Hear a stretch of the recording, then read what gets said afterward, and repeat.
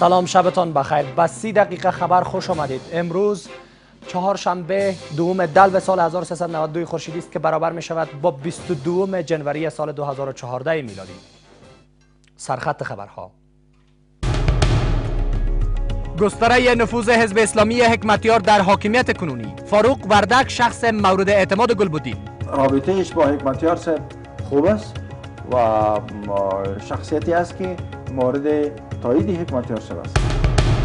عملیات ولسوالی سیاهگرد که تلفات داشت. آیسف می‌گوید با والی هماهنگ کرده بود. اما والی می‌گوید بمبارد و یا عملیات پیاده و یا هوایی هیچ نوع درخواستی از امریکایان ما نکردیم. کاهش 50 درصدی کمک های غیر نظامی امریکا به افغانستان. امضا نشدن موافقتنامه امنیتی چه چیزهای دیگری به دنبال خواهد داشت؟ طالبان در تلاش برهم زدن امنیت انتخابات. وزیر داخله می‌گوید این دستور از بیرون صادر شده. از اونا هم توقع داریم که این این, این ناجوان مردی رو بگذارن. سازمان دیدبان حقوق بشر گزارش سالانه اش را منتشر کرد. بحران خطرناک در راه افغانستان. و بازیگران سیاسی اتحادیه اروپا مسئول افزایش نارامی ها در اوکراین. این دیدگاه روسیه است.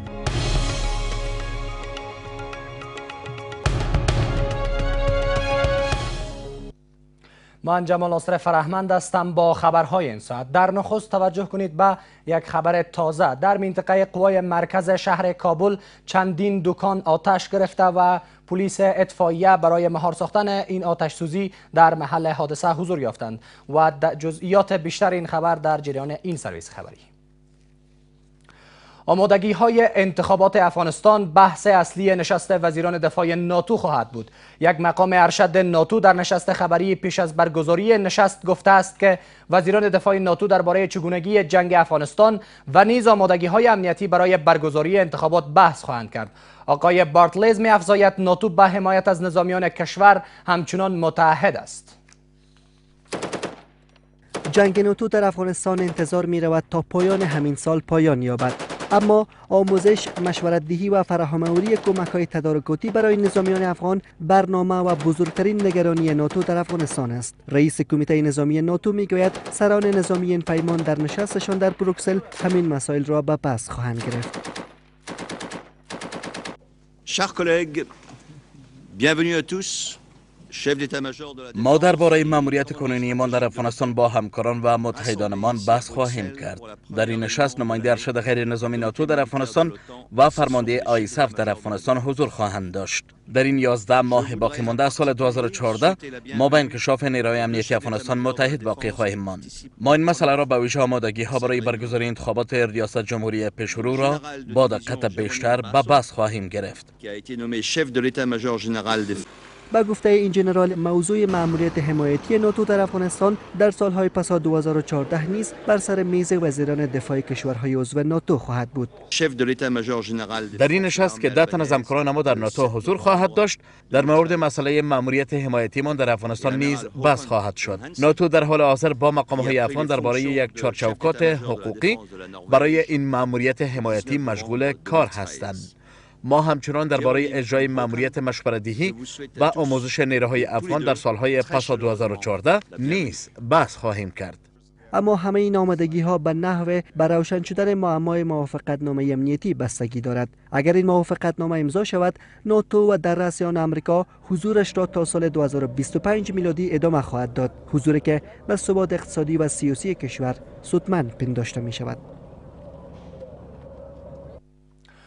گلبودین حکمتیار باید مشخص سازد که هواداران حزب اسلامی به کدام نامزد ریاست جمهوری رأی بدهند قطبالدین هلال نامزد ریاست جمهوری و معاون حزب اسلامی تغییر در موضوع گلبودین حکمتیار به هدف اشتراک هوادارانش در انتخابات را ستایش می کند آقای هلال از حضور گسترده افراد وابسته به حزب اسلامی در دولت خبر می دهد و وزیر معارف را یکی از افراد مورد نظر گلبودین حکمتیار می داند.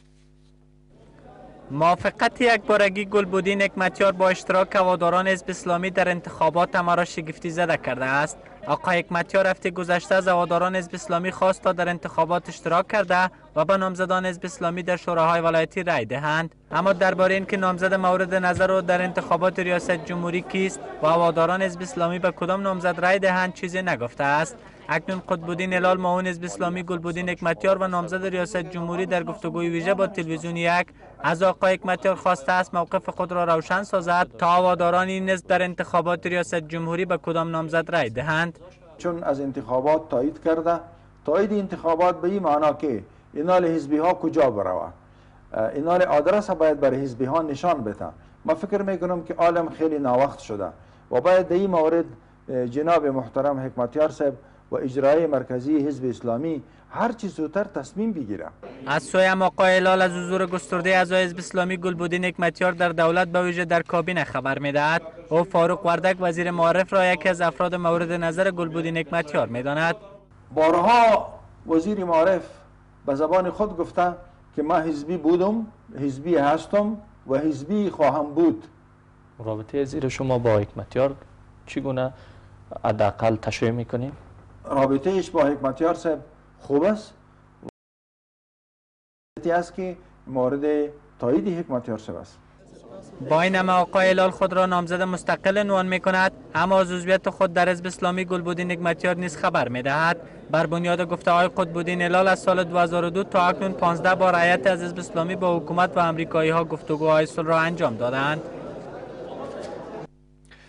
کمک های غیر نظامی امریکا به افغانستان در سال 2014 میلادی 50 درصد کاهش یافته است. باراک اوباما سند کمک های غیر نظامی برای افغانستان را که از سوی کانگرس این کشور تصویب شده است، اخیرا امضا کرد.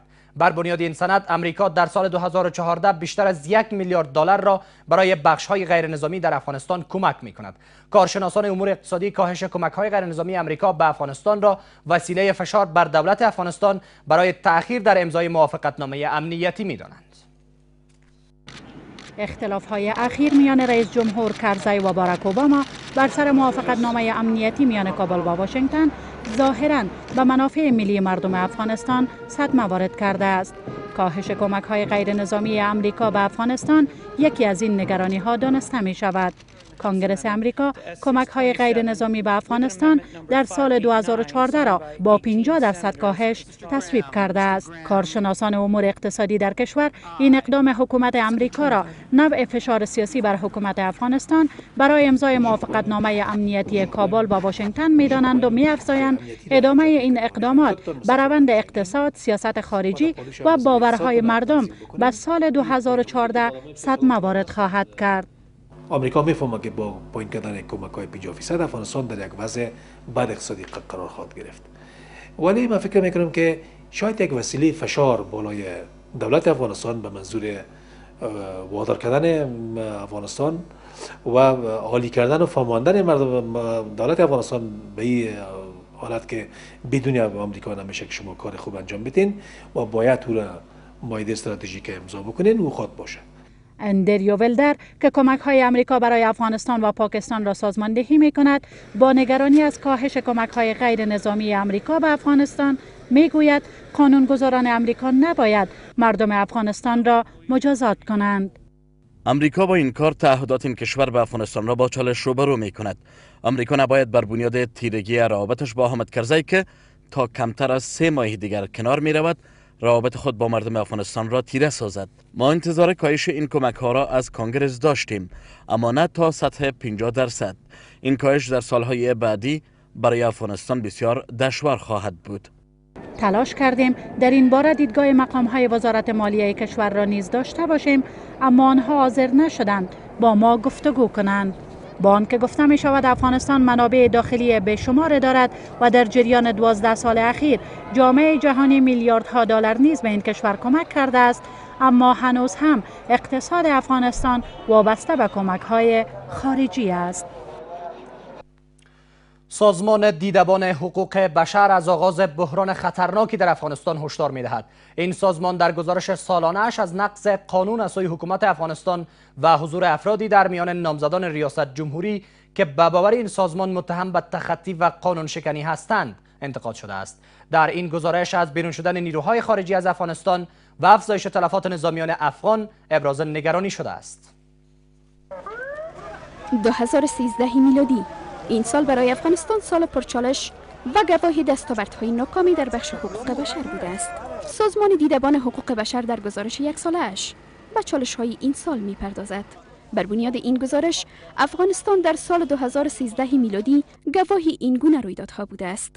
تلاش های ناکام در بخش حقوق بشری و گسترش دامنه ناامنی ها از این سال به سال 2014 میلادی. نیروهایی که همکنون در خط مقدم نبرد می جنگند. کارنامه های نبرد این نیروها در پیکار با حراس افغانی در سال 2013 میلادی در این گزارش به باد انتخاب گرفته شده است. در سال 2013 میلادی نیروهای امنیتی افغانستان نه تنها توان پس گرفتن بخشای زیر اداره طالبان را نداشتند بل حتی توانایی آنان در نگهداشت بخشای زیر اداره حکومت نیز نگران کننده است باید بگوییم که بیشتر شهروندان افغانستان از وضعیت امنیتی پس از این سال نگرانند این گزارش به تلفات نظامیان افغان در سال گذشته میلادی و افزایش این تلفات در سالهایی که این نیروها در برابر حراس افغانان به تنهایی پیکار می کنند پرداخته است. پیامدهای چالش های سال 2013 میلادی به سال 2014 میلادی در این گزارش نگران کننده گفته شده است. فرهنگ فرار از مجازات نیروهای امنیتی کشور و دیگر گروه های مسلح و پیامدهای آن به برگزاری انتخابات پیشرو در این گزارش این گونه خلاصه می شود. فرهنگ فرار از مجازات نیروهای امنیتی افغان و دیگر گروه مسلح برگزاری یک انتخابات در این کشور را زیر پرسش قرار می‌دهد. اگر صادقانه بگوییم سال 2013 سال خوبی برای حقوق بشر نبود. قانون در افغانستان وجود دارد اما کار عملی ساختن آن ضعیف است. فکر می کنم متهم بودن بسیاری از نامزدان ریاست جمهوری به تخطی از حقوق بشر اعتبار و ارزش روند انتخابات را زیر پرسش قرار داده است. قربانی شدن دستاوردهای بانوان کشور در سال گذشته میلادی از دیگر انتقادهای این سازمان است. حالا آرزو داریم که دیگه بحث از میراث نامیمون سال 2013 نشه و در مورد نگرانی ها باید بگویم از بس کلمه نگرانی ناسودمند است دیگه شنوندی خدا آزار میته ما آرزو داریم دیدبان حقوق بشر و نهادهای جامعه جهانی ای بار در مقام عمل بیرون شوند و به عوض ابراز نگرانی ابراز راه کار کنند چگونگی وضعیت بیجا شدگان داخلی افزایش تلفات غیر نظامیان در سالهای پیشرو این گزارش را رنگ دیگری می دهد. افغانستان که با این همه چالش ها به سوی رخدادهای مهم سیاسی به پیش می رود روشن نیست که با این چالش ها چگونه خواهد ساخت مخالفان مسلح دولت از حامیانشان دستور گرفتند تا در زمستان امسال به پناهگاههایشان نیایند و انتخابات افغانستان را به چالش بکشند. وزیر امور داخله می‌گوید که با این هم بیشتر شدن حمله های نیروها این نیروها در کشور نمی‌تواند انتخابات را به چالش بکشد زیرا پلیس آماده پاسخگویی به مخالفان مسلح است.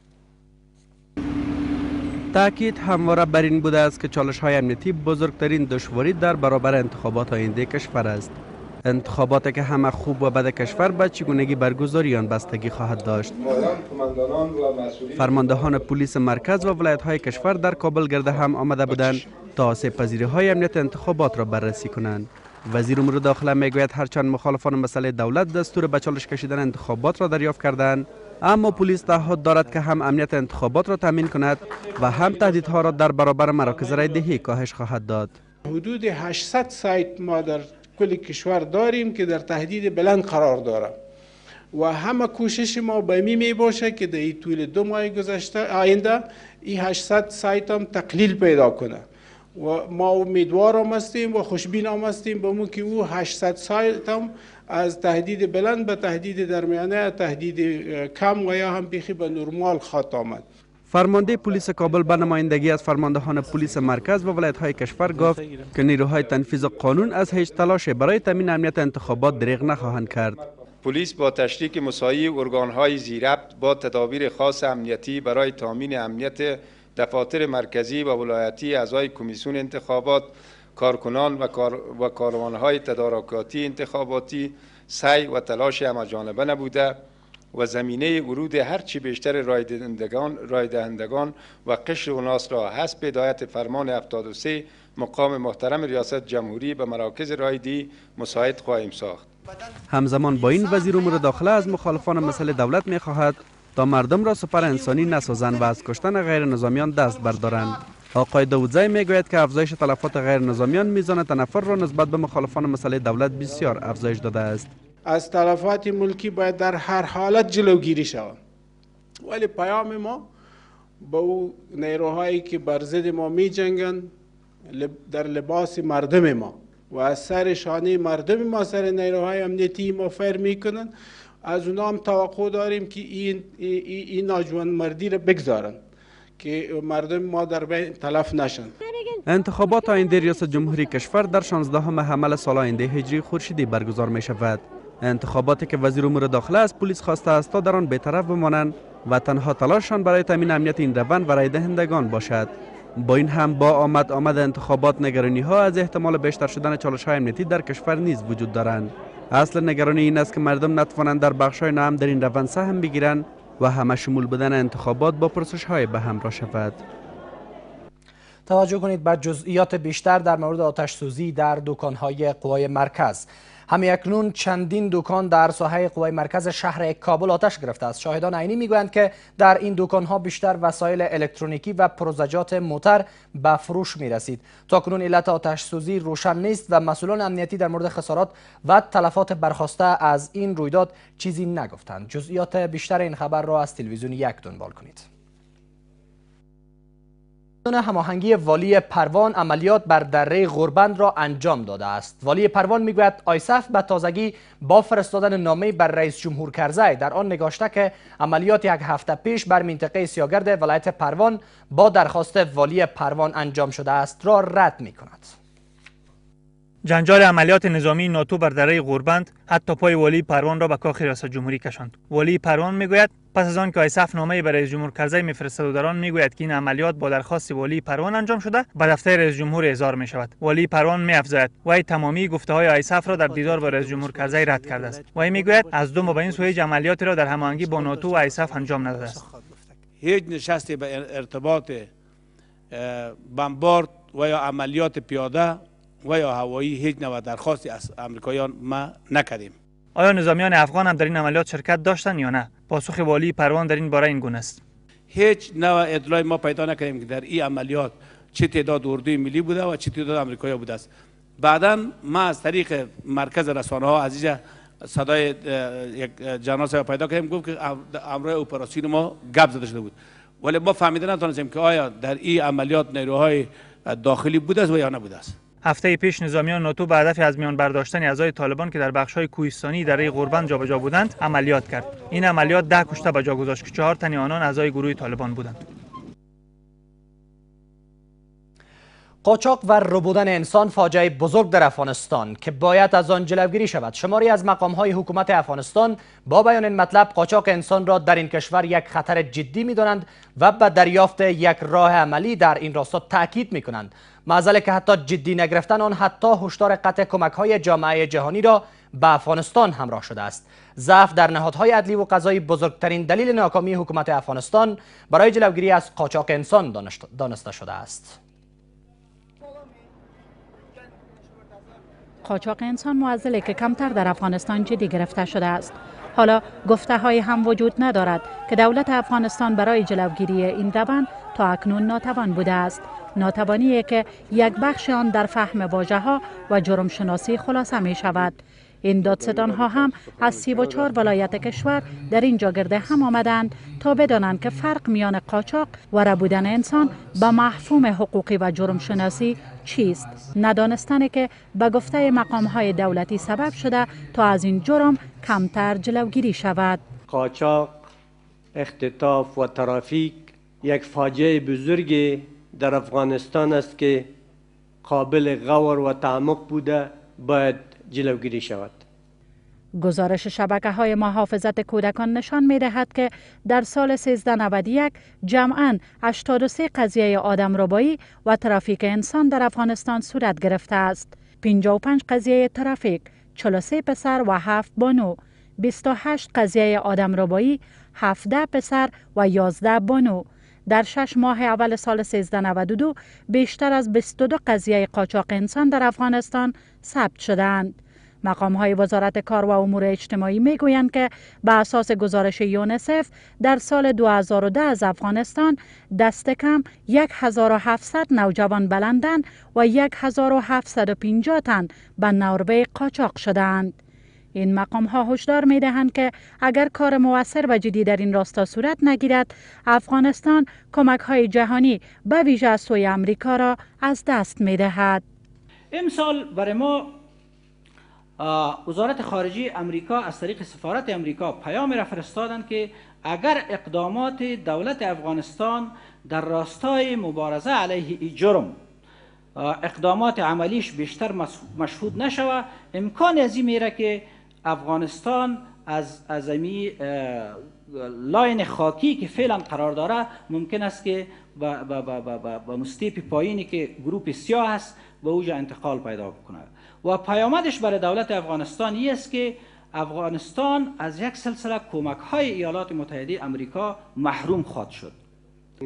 در حالی که مقام های وزارت داخله از بازداشت دست کم 66 مزنون و متهم به قاچاق و آدم ربایی در کشور خبر می دهند اما از ضعف کاری و نبود هماهنگی میان نهادهای عدلی و کشفی انتقاد می کنند. این مسئولان می گویند که در حال حاضر سالانه دست کم 12.7 میلیون انسان در جهان قاچاق و ربوده می شوند و دست کم 32 بیلیون دلار را قاچاقبران انسان از این را به دست می آورند. انجمن زنان بازرگان امروز در شهر کابل گشایش یافت. برای رشد اقتصاد بانوان و حل مشکلات آنان در بخش بازرگانی این انجمن ایجاد شده است و به گفته رئیس انجمن زنان زنان بازرگان تا صد روز دیگر تلاش می شود تا سی درصد پروژه های دولتی به گونه اختصاصی به زنان بازرگان اختصاص یابد. انتظار می رود با کمک این انجمن سالانه 5 درصد بانوان بازرگان در بخش اقتصادی رشد خواهند داشت.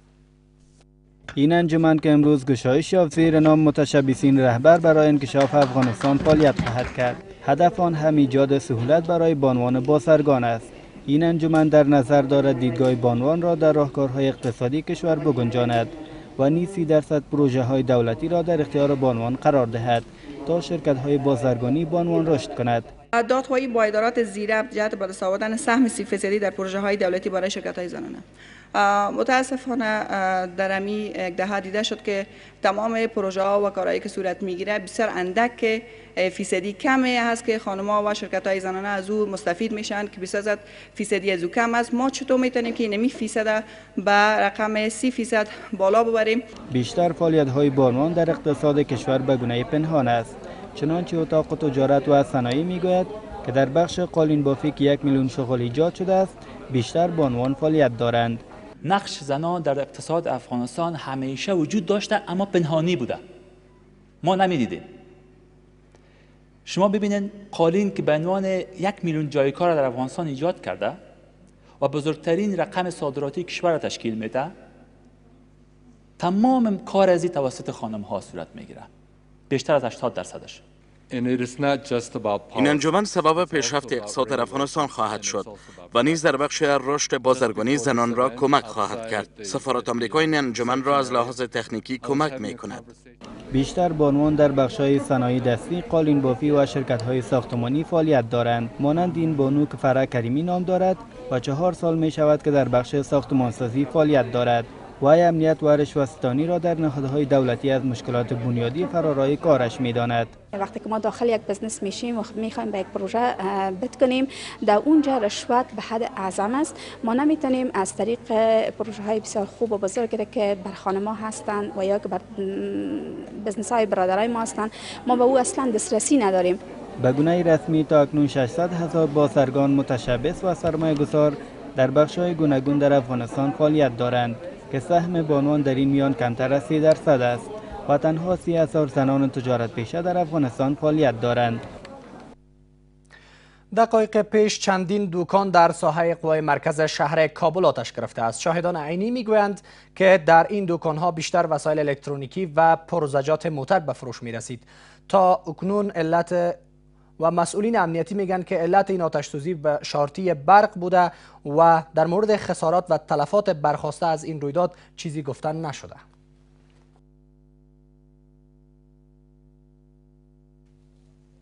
در عملیات نیروهای افغان در ولایت کندوز 32 روستا از وجود مخالفان مسلح پاکسازی شد. در خبرنامه‌ای که از سوی دفتر مطبوعاتی فرماندهی پلیس این ولایت پخش شده آمده است این عملیات از ماه گذشته بدین سو به هدف زمینه سازی برای انتخابات ریاست جمهوری و شوراهای ولایتی آینده راه اندازی شده و تاکنون شماری از حراس افغانان نیز بازداشت شدند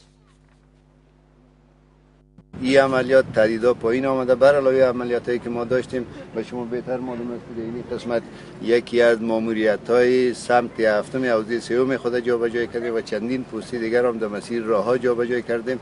با این عملیات تقریبا هفت سایت تعدید بلند هم پایین آمده و مردم هم وعده امن و همکاری را برای ما دادن که فضل خدا سایر شما از نزدیک می‌بینیم. کاملا امن و امنیت. با این هم چند رویداد خبری دیگر از جهان جان کری هشدار می‌دهد که حکومت بشار اسد در تشکیل حکومت موقت سوریه اشتراک کرده نمی‌تواند. وزیر خارجه امریکا امروز در نشست صلح ژنو دوم گفت که رژیم بشار اسد در قتل مردم این کشور سهم داشته و نمی‌تواند در حکومت آینده این کشور سهم داشته باشد. در همین حال ولید معلم وزیر خارجه سوریه از مداخله کشورهای بیگانه در بحران این کشور انتقاد می‌کند و از مخالفان حکومت سوریه می‌خواهد که بدون مداخله دیگر کشورها به خاطر تامین صلح در کشورشان تلاش ورزند. پس از سه سال درگیری های خشونت آمیز و کشته شدن هزارها نفر و بیجا شدن بیش از دو میلیون نفر از سوریه امروز نشست صلح ژنو دو به خاطر پایان دادن به بحران سوریه با اشتراک بیش از چهل کشور جهان و شمول مخالفان حکومت بشار اسد و سازمان ملل متحد در سوئیس برگزار شد. در این نشست بانکیمون دبیر کل سازمان ملل متحد از مخالفان حکومت سوریه و دولت این کشور خواست تا از این فرصت استفاده کرده و به بحران سوریه پایان دهند. پس از نزدیک به سه سال درگیری دردناک در سوریه امروز روز امید است اگر این فرصت از دست برود چی تعداد دیگری در سوریه باید جانهای خود را از دست خواهند داد در همین حال ولید معلم وزیر خارجه سوریه هشدار داده است که برای آوردن صلح در سوریه به استثنای مردم سوریه هیچ کشور دیگر حق ندارد مداخله کند. ما به عیس نماینده مردم سوریه در این نشست حضور داریم و باید دیگر کشورها بدانند که جز مردم سوریه هیچ کشور دیگر در سوریه صلح و ثبات را تأمین کردن نمی توانند. اما جان کری وزیر خارجه امریکا از سهمگیری رژیم بشار اسد در حکومت موقت این کشور خوشبین نیست و تاکید می کند که این رژیم به هیچ گونه نمی تواند در حکومت موقت این کشور اشتراک کند. کسانی که بر ضد مردم بیگناه با خشونت عمل کردند و مردم را بیرحمانه به قتل رساندند هیچگاه در حکومت انتقالی این کشور شرکت کردن نمی توانند و برای هیچ کشور قابل پذیرش نیست در همین حال امروز گزارش به نشر رسیده است که نشان می دهد دولت بشار اسد در شکنجه و کشتار بیش از 11 هزار نفر در این کشور از سال 2001 تا اکنون دست داشته است. در این گزارش آمده است که این بازداشت شدگان از سوی حکومت بشار اسد با مجازات گوناگون کشته شدند که شامل اعدام، سپری نمودن هفته ها با گرسنگی و قطع اعضای بدن بوده است. بازیگران سیاسی اتحادیه اروپا مسئول افزایش نوامنی ها در اوکراین هستند. وزیر خارجه روسیه با بیان مطلب گفته است که اشتراک شماری از اعضای دولت های اروپایی در راهپیمایی های ضد دولتی اوکراین غیر قابل پذیرش است. در این حال نخست وزیر اوکراین برای معترضان در این کشور هشدار داده است که اگر با راهپیمایی های خود پایان ندهند حکومت از قوا استفاده خواهد کرد.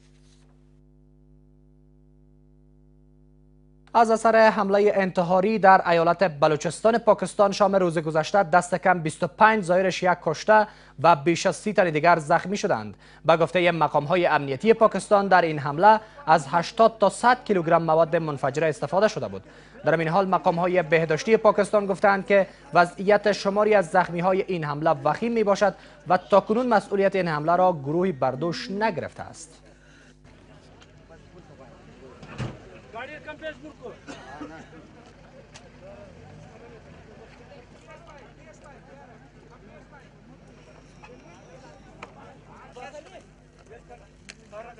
Вообще.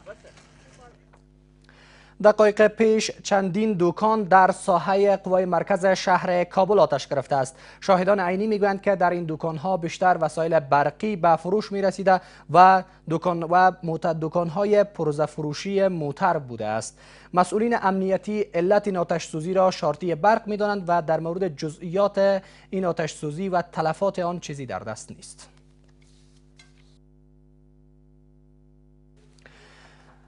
همین اکنون چندین دکان در ساحه قوی مرکز شهر کابل آتش گرفته است. شاهدان عینی می‌گویند که در این دکان ها بیشتر وسایل الکترونیکی و پرزجات موتر به فروش می رسید تا کنون علت آتش سوزی روشن نیست. ولی مسئولین امنیتی میگن که این آتش سوزی ناشی از شارتی برق بوده و در مورد خسارات و تلفات برخواسته از این رویداد چیزی در دست نیست.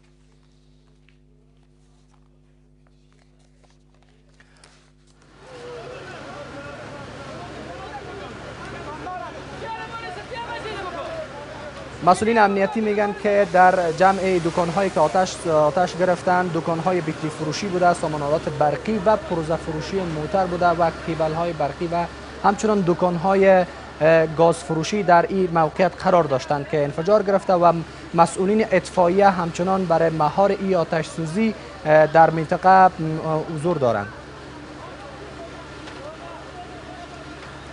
و گفت و قسمی که در تصاویر شما می‌بینین آتش سوزی مهار شده به نحوی و دکان ها و همچنان نیروهای اطفائیه در منطقه حضور دارند و نیروهای پلیس همچنان برای مهار آتش سوزی در ساحه حضور یافتند و قسمی که در تصویر دیدین این آتش سوزی مهار شده و دیدن نمیشه که ادامه داشته باشه و تلفات مالی هنگفتی را در پی نداره قسمی که در تصویر می‌بینیم و احتمال داره که این آتش سوزی.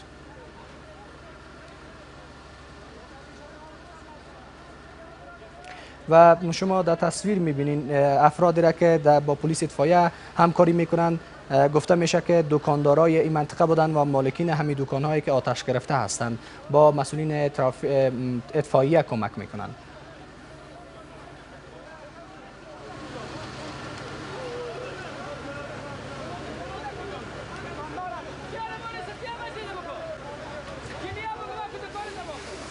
شما بیننده تلویزیون یک باشید و تصاویر بیشتر از این رویداد را دنبال کنید و با جزئیات بیشتر. از همراهیتان با سی دقیقه خبر سپاسگزارم و همچنان در پایان شما را دعوت می‌کنم به تماشای نخستین برنامه گفتگوهای انتخاباتی با میرویس آریا.